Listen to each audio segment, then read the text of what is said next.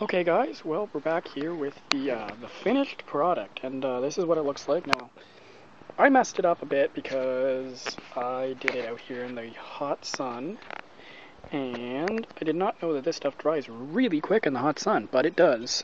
You can see I got some striations on the back, but, and you can see also, as I said, it did not take away all that inside mineral damage. You can still see there's some haze on the bottle uh, let me see. Okay, there, yeah, you can see there's still haze on the bottle, but I would say it's much cleaner than it was this morning, or I shouldn't even say this morning, a couple hours ago.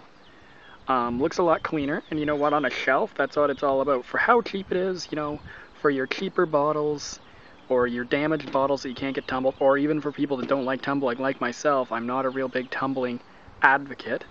Um, it's a great, simple method using this finish floor polish and just applying it to these bottles. It, I think it improves the bottles immensely and, you know, it's cheap. The product actually smells really good too once it's on the bottle. Um, I don't mind working with it. It's not like working with a lacquer or something like that. It smells really strong. You don't want to use it in the house. You only want to do it outside. I prefer to do this in the house where you don't have any sunlight and it's not drying up obviously really quick on, quickly on you.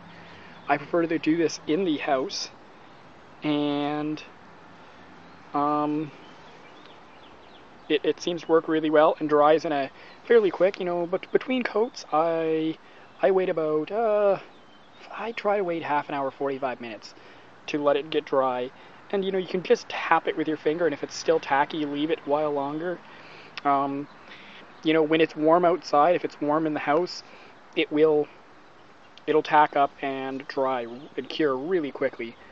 But uh, yeah, this this is the result of the finished floor polish, and uh, I only put one coat on this piece.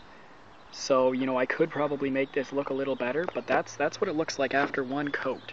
So okay, thanks guys. This has been the video. Uh, if you have any other questions, uh, you know you can PM me on uh, well I guess on the Antique Bottles forum, or you can uh, leave a message. Uh, I'm probably going to post this on YouTube, so you can leave a message on the uh, YouTube video. Thanks, guys.